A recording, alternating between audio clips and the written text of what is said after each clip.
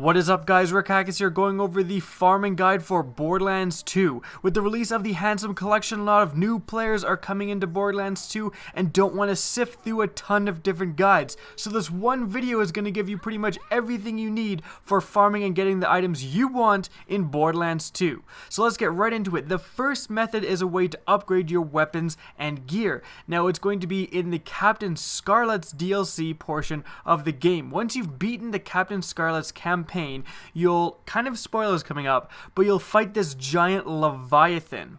Now, once you beat him, you can go into a room where there's a ton of lootable chests. Now, the cool thing is that a lot of these chests have skulls on them. They're special chests, and nothing below blue gear spawns in them. So you have an increased chance to get pretty much everything you want, and that includes legendary orange weapons and gear. Now you're only supposed to do this once, but there is a way where you can continue farming this treasure room, getting a shit ton of loot. All you have to do is save and quit and then just click continue again to restart the game. You're going to start inside the Leviathan's stomach, you run through there, fall out, and you'll see the fight with the Leviathan again. Luckily, you actually don't have to fight him again and he just dies without firing a shot right in front of you.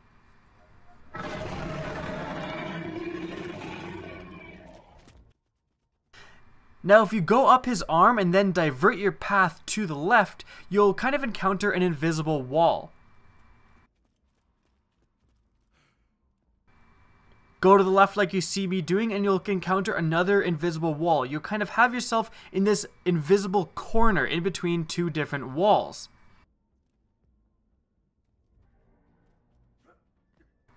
Now you'll notice that when you're actually in the corner and you jump, you can just jump normally. But if you move ever so slightly to the left and you jump, your character is going to be prevented from jumping all the way and you just kind of hit a kind of a ceiling and go back down.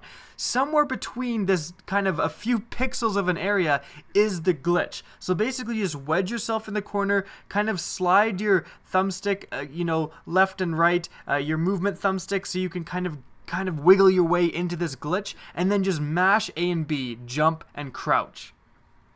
Eventually, and it does take some practice to get used to, so the very first time will probably be the longest time, but eventually just kind of wiggling around in this corner and mashing jump and crouch, you're going to notice something happens. While you're jumping, you're suddenly going to be propelled into the air, and you'll know that the glitch has been successful. When this happens, let go of everything on your controller and your character will be floating in the air. At this point, all you have to do is continue jumping and you'll know that you jump, but you don't go back down. So just jump up, up, higher into the air until you can no longer jump and you're at the top point of this glitch. Once you're at the top and you can no longer jump any higher, all you've got to do is look where I'm looking and then just run straight. You're going to stop running and hover in the middle of the air, I don't know, about a little over half of the way to the wall you're looking at. Again, use this video and my character for reference, but if you look down and to the right, you're going to see a different color, darker rock that is covering over the entrance of the treasure room. You run at this darker rock and you'll notice your character will fall, but hopefully you'll be in a position that you land on this rock. Now once you land on this rock, there's going to be another off-color rock, kind of right in front of you. Again, you'll see in this video exactly where I go. You'll stick your head into here and you'll actually see that you go through this rock, you go through the wall. Then there's going to be two triangular rocks, just run in between them and continue running straight without diverting your course and you will end up in the treasure room. Now from this point, you just loot the treasure room, save and quit, continue, and keep doing it over and over again until you get the desired loot. Now this farming technique is good because it just gives you a general amount of very good gear. It's pretty good if you like want to upgrade your gear before a big boss fight or in between playthroughs of the campaign because you don't always want legendary like gold gear. Sometimes you just want a bunch of good purples to get you a head start into the next thing you're doing and that's what that farming guide is for. Now the next farming technique is specifically to get legendary gold or orange gear. Not to mention, it also has the benefit of being a great way to farm pearlescent guns, which are the most rare guns in the entire game. Now for this farming run, what you're going to have to do is have the Doctor's Orders quest active. This is like absolutely essential and you get this quest when you get sent to the Hyperion Exploitation Preserve by Mordecai in the campaign. Just pop in to see Tannis and she will have this quest. Again, accept it but do not complete it. You have to have it on in the background.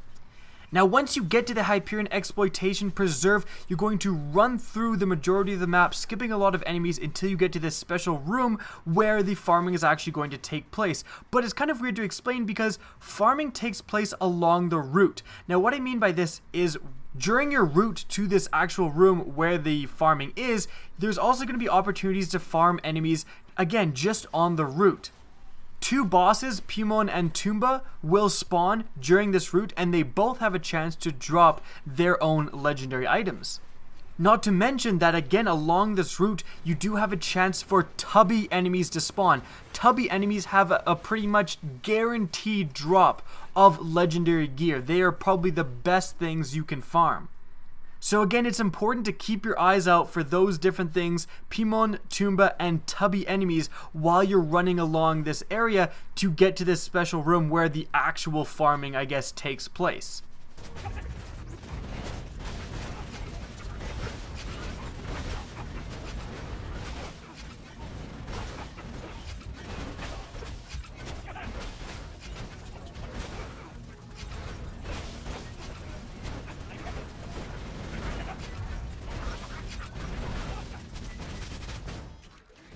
Now, eventually you will get to kind of the middle of the map. You're going to have to kill two badass elemental skags, and then there's going to be a very small room with a Hyperion chest in it and a bunch of boxes in the corner. Because you have the Doctor's Orders quest, opening each one of these boxes will produce a loot midget. Legendary loot midgets have insanely high drop rates for both legendary weapons and gear and pearlescence. Now you are by no means guaranteed legendary or pearlescent drops from these enemies, but the drop rates are high enough that it's definitely one of the best places to farm. One last quick tip for this farming method is that if you're kind of a lower level, tubbies have a pretty small chance to spawn. Tubbies mostly spawn uh, on this route when you're pretty high level, I'm talking level 72 or higher. So again, if you're much lower and you're not seeing any tubbies, it might be worth popping in to the Hyperion Exploitation Annex. It's in a DLC arena that is pretty much halfway through the map. Now, if you pop in here and quickly pop out and then run the route as normal, when you save and quit and then come back in, to, because presumably you're going to be doing uh, this farming method uh, again and again by saving and quitting and then just coming back in. Again, if you pop into this arena and then pop back out, you're going to reload here and it'll save you about quite a bit of distance actually uh, of running so you can just get to the actual farming room with the loot midgets quicker each time. Again, I wouldn't recommend doing this if you are higher level because you do want the tubbies to spawn.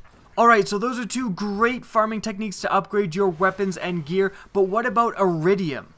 Well, there's an insanely easy and effective way to get Eridium in this game, and all you have to do to farm Eridium is to beat the raid bosses that are at the end of the Tiny Tina's Assault on Dragon Keep DLC at a lower level. Now, what I mean is, you may be level 40, 50, 72, it doesn't matter, but reload your playthrough one and you can actually select when you re reload your character you can select what playthrough you want. So select the very original playthrough and then go and defeat these bosses. You're gonna of course have to accept the quest if you haven't already and travel to the area but of course you will be a much higher level with presumably much better gear so it will be very very easy to beat these raid bosses. Now yes they're gonna drop gear that's way too low a level for you so that's not gonna be good but they also drop a shit ton of eridium.